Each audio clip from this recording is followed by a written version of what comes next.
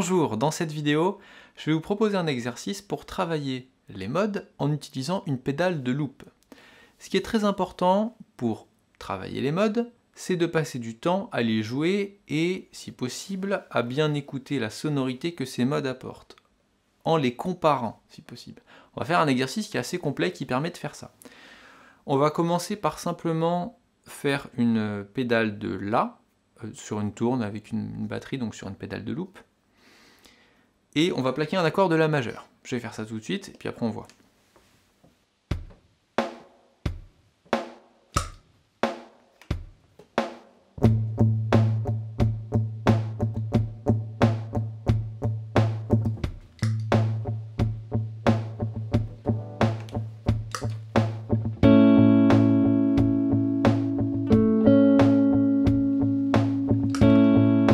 On a un accord majeur dans notre pédale de loop, on va donc pouvoir jouer plusieurs modes, des modes majeurs. Alors il se trouve que dans la gamme majeure, il y a trois modes majeurs. La gamme majeure qu'on appelle aussi le mode ionien, le mode mixolydien et le mode lydien. On va jouer ces trois modes sur cet accord de La. Pour commencer, pour un peu les comprendre, on va le faire sur la même octave. Alors, on va commencer par la gamme majeure.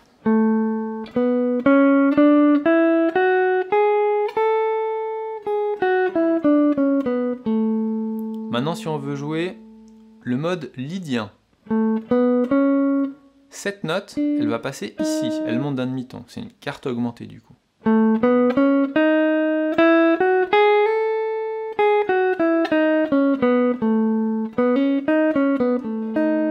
entend qu'il y a une sonorité moins classique, un peu plus mystérieuse, on pourrait dire, doucement mystérieuse qui vient avec cette carte augmentée. Maintenant, le mode mixolydien. Alors, on revient sur la gamme majeure. Le mode mixolydien, c'est comme la gamme majeure, sauf que la septième, la dernière note de la gamme, elle descend d'un demi-ton, elle devient septième mineure. Donc on va la jouer ici pour des facilités de doigté.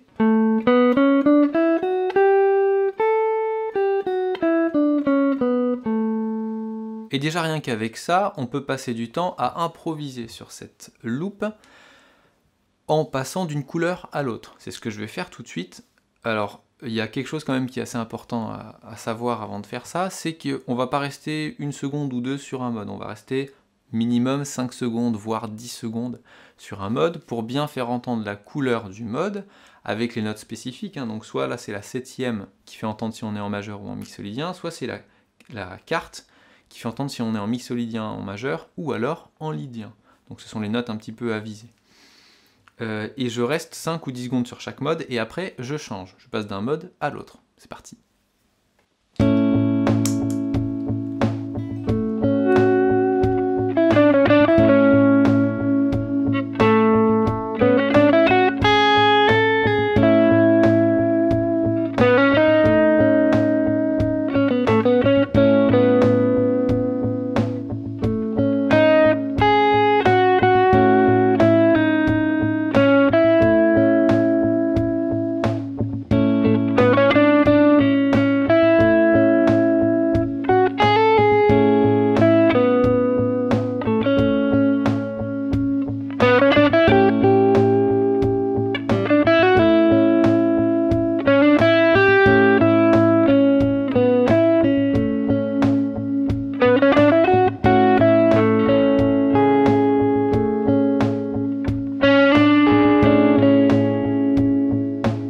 Vous voyez que si vous, prenez le temps de bien faire entendre chaque mode, c'est très efficace. Par exemple, quand, je suis arrivé sur la septième mineure, vers la fin là, pour faire entendre le mixolydien, ah, c'est une note qui vraiment, on, ça a un peu, je vais pas dire que ça a choqué, mais ça, a surpris.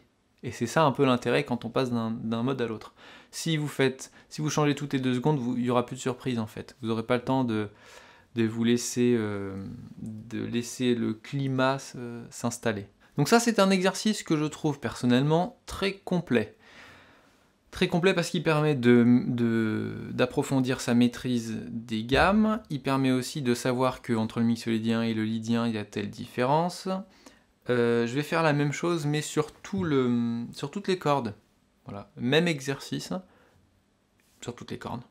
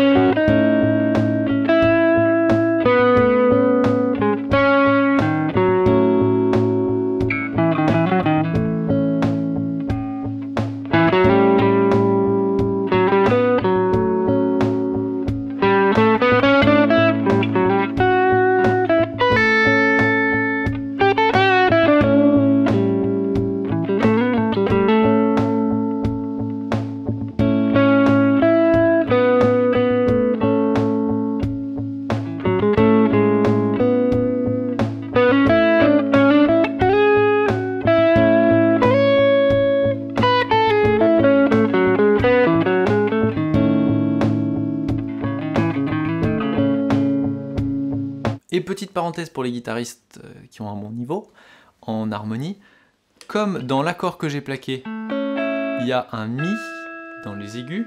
Quand je joue le Ré dièse, donc la carte augmentée du La, et que j'insiste dessus, si c'est au moment où il y a le Mi qui est joué dans l'accompagnement, ça va un peu frotter, ça fait ça. Voilà, ça frotte un petit peu.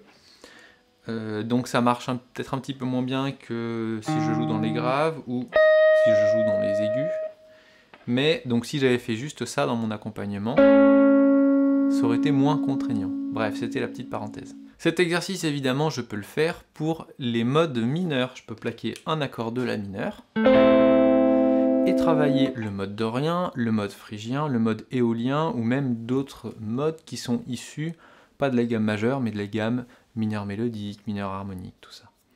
Donc ça, je vais pas le faire, mais c'est à vous de, le faire chez vous, plaquer un accord mineur, vous vous amusez avec les modes. En revanche, ce que je vais faire tout de suite, c'est un exercice un peu différent, où là, je vais plaquer des accords qui vont changer et qui vont m'imposer certains modes. On va partir sur quatre modes. Les trois premiers, on les connaît. Majeur, mixolydien, lydien, et il y en a un dernier qui est un peu un mix entre le lydien et le mixolydien, c'est le lydien bémol 7. Donc, si je veux faire entendre la gamme majeure, ce que je peux faire, c'est plaquer un accord de la maj 7. Si je veux faire entendre le mode mixolydien, je peux plaquer un accord 7.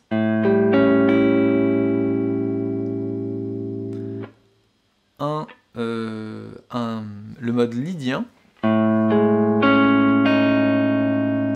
maj 7 avec une dièse 11.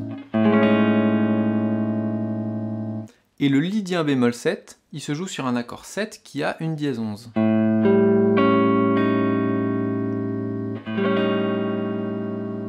Une autre parenthèse pour les guitaristes qui ont un niveau très avancé en harmonie. Cet accord maj 7, il impose pas tellement la gamme majeure, en fait, le mode lydien fonctionne bien dessus.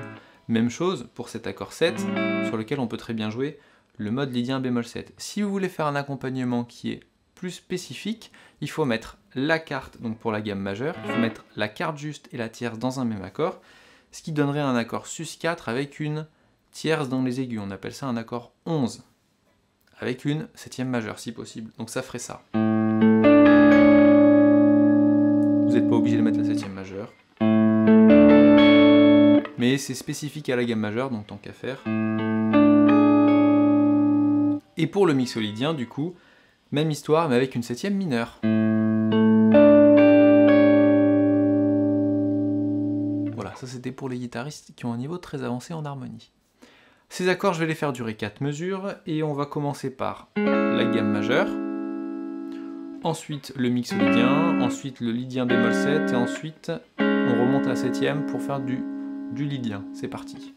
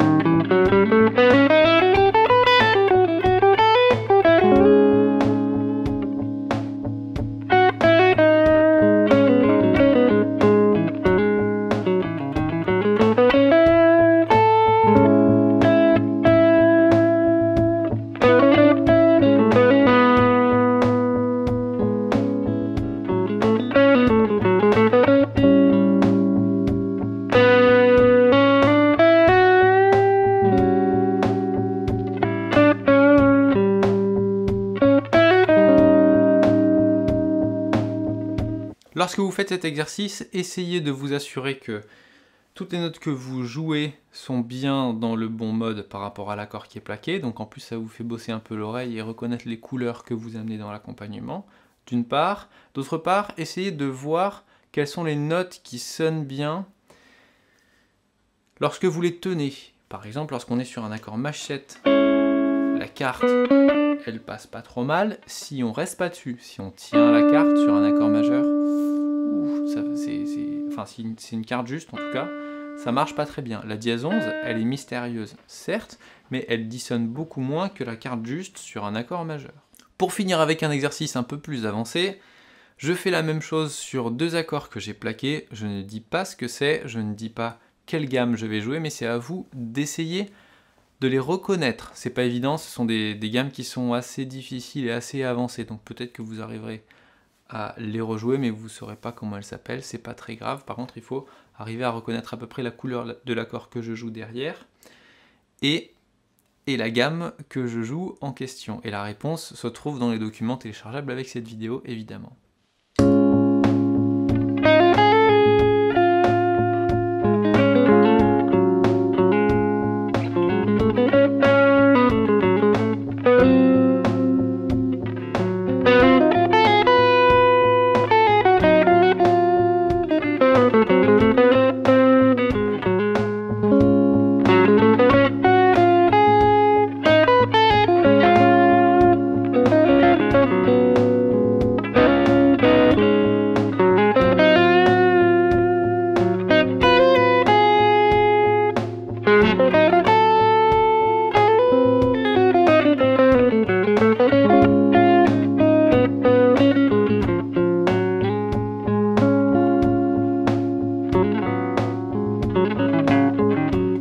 J'espère que ces exercices vous ont bien plu, qui vous permettront de, mieux maîtriser et de mieux entendre les modes. C'est un peu le truc qui est difficile, je trouve, lorsqu'on travaille les modes, de bien percevoir l'intérêt d'apprendre les modes et aussi euh, de percevoir précisément leur couleur. Cet exercice, je trouve, qui permet de faire ça assez efficacement. N'hésitez pas à aller voir les autres vidéos sur ma chaîne YouTube, de bosser sur les playbacks. J'ai plein de playbacks avec des accords plaqués comme ça, sur là en plus. Euh, n'hésitez pas à aller voir aussi les vidéos, les articles et des vidéos sur mon site Guitare Improvisation. Il y a notamment quelques vidéos que je mettrai en lien, des cours euh, complets, des cours vidéo complets, notamment un qui s'intitule Quelle gamme pour quel accord, qui est un petit peu dans la veine de ce que je viens de faire dans cette vidéo.